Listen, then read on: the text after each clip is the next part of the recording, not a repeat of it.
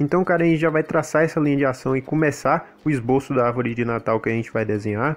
Uh, na verdade, a gente vai fazer um personagem com o shape da árvore de Natal.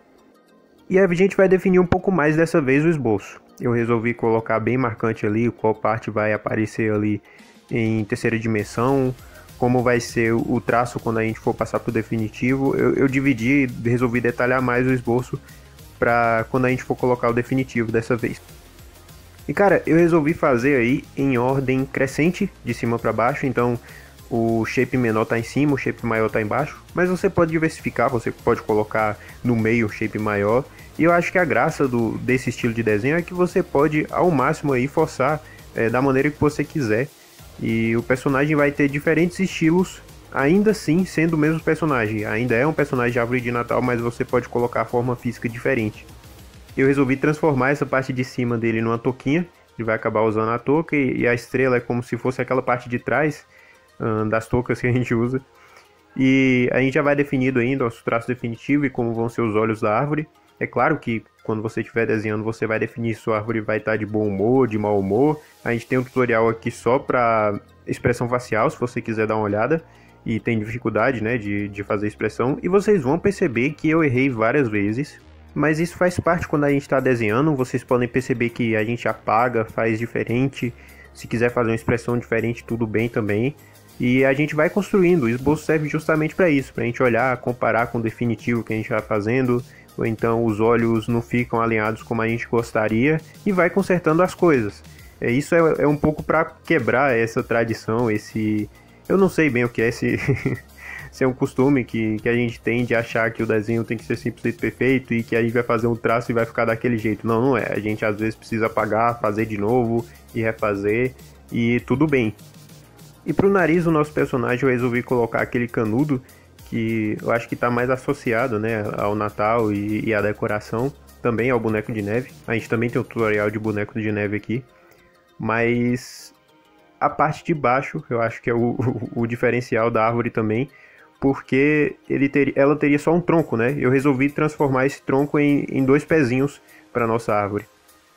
E é como se a parte principal da nossa árvore de Natal já estivesse pronta a gente só vai ajustando essas partes que vão dar esse efeito de profundidade, hum, consertando alguns traços que ficaram sobrando, que ficaram irregulares.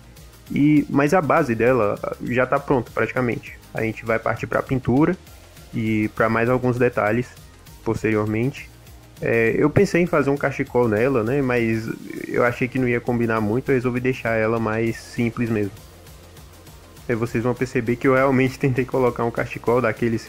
Uh, eu não sei bem o que é, mas eu vou chamar de cachecol de árvore de Natal, que geralmente põe na decoração, mas não foi uma boa ideia. Uh, claro que você pode personalizar aí do jeito que você quiser, se você acha que fica melhor, tranquilo. E a gente já vai começar a nossa pintura agora. Eu resolvi colocar padrão mesmo, cara, a árvore verde, alguns detalhes nas cores de Natal, vermelho, né? E, cara, é aí que entra aquela questão de criatividade. Se você quiser colocar uma árvore personalizada, uma árvore amarela, ou então você pode até mesmo parar para pensar e fazer alguns detalhes em neve, ou, ou, até mesmo fazer árvore branca e você põe um fundo de outra cor. Eu sempre gosto de reforçar também que esse tutorial não é só para quem faz arte digital, é também para quem faz desenho a lápis. A diferença é que, claro, a gente não, não tem a facilidade a lápis e tudo mais. Eu faço esse desenho a lápis antes pro pessoal, para saber qual vai ser a experiência de quem está fazendo a lápis. E na hora da pintura, uh, a mesma regra que eu vou colocar aqui na, na luz e sombra também vale para quem está fazendo a lápis. Então você pode sim colocar aqueles detalhes de neve na, em algumas partes da árvore para dar aquela impressão, né? Uh, colocar alguns presentes. Esses, essas bolinhas de Natal eu coloquei na touca dele mas você pode colocar na própria árvore, né? Eu coloquei como se fosse um, um, modelo da touca, mas você pode colocar na própria árvore mesmo, você pode colocar aquele cachecol que acabou não dando muito certo para mim colocar e, e formulando sua árvore de acordo com o que você quer. Até mesmo a estrela eu resolvi não diversificar muito, coloquei na cor amarela mesmo.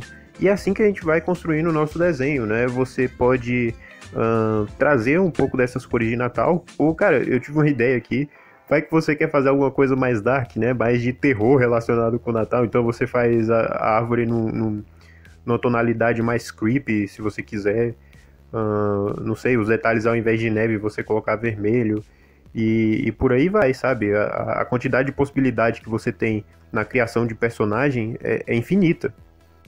Então esses são os momentos que a gente vai apagando um pouco a, as partes de, de detalhe. E agora a gente vai começar a fazer a parte da sombra. Lembrando que se você estiver fazendo a lápis, essa parte de sombra vai ficar igual. Se, claro, se você posicionou a luz no mesmo lugar que eu posicionei, eu posicionei a luz no lado esquerdo e aí vai projetar a sombra do lado direito. Isso aí vai muito de acordo o, a forma que você quer fazer no seu desenho. Você pode projetar a luz do lado esquerdo, se você quiser, pode projetar a luz de cima para baixo ou de baixo para cima. Aí vai depender de você. E cara, tu pode perceber que não tem jeito. A sombra e a luz fazem uma diferença muito grande no desenho. Eu sei que tem gente que gosta de deixar só essa parte básica da cor e tudo mais, mas cara, às vezes vale a pena você tentar fazer algo diferente Obviamente, algumas vezes você vai olhar para o desenho que você colocou luz e sombra e vai achar que ficou melhor antes, que você estragou, mas essas coisas fazem parte da nossa trajetória no desenho. Então, vale a pena você ir tentando, você ir construindo é, coisas novas. E a luz e sombra ela traz com certeza uma carga de mais vida ao seu desenho. Você pode perceber que até mesmo nos desenhos mais simples que a gente assiste, uh, por mais sutil que seja, ainda tem aquele efeito ali de, de luz e sombra, entendeu? Então acaba fazendo muita diferença. Aliás, principalmente se você é uma pessoa que também gosta de desenhar cenários.